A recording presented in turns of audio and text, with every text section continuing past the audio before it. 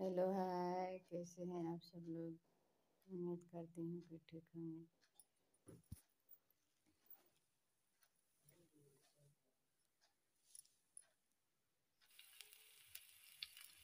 Friends, एक packet Maggi बच गया था। मैंने सोचा कि उसको भी आज बना देखिए यहाँ पर मैं कढ़ाई रख दिया हूँ।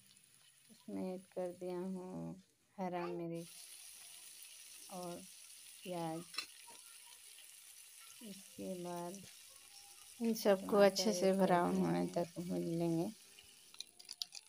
देखिए जाएगा। इसके बाद जो उसमें का मसाला होता है उसको ऐड कर देंगे।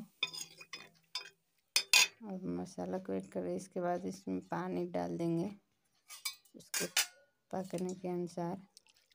देखिए पानी में डाल दिया हूँ। इसके बाद स्वाद अनुसार नमक ऐड करेंगे।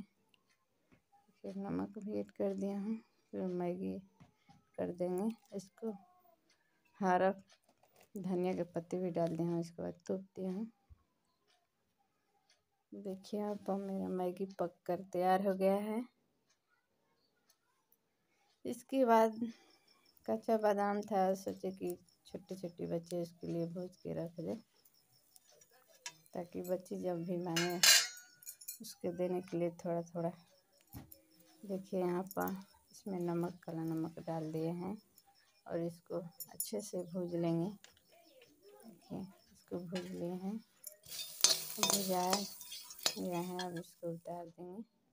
फ्रेंड, वीडियो अच्छा लगे तो लाइक और सब्सक्राइब करना मत भूलना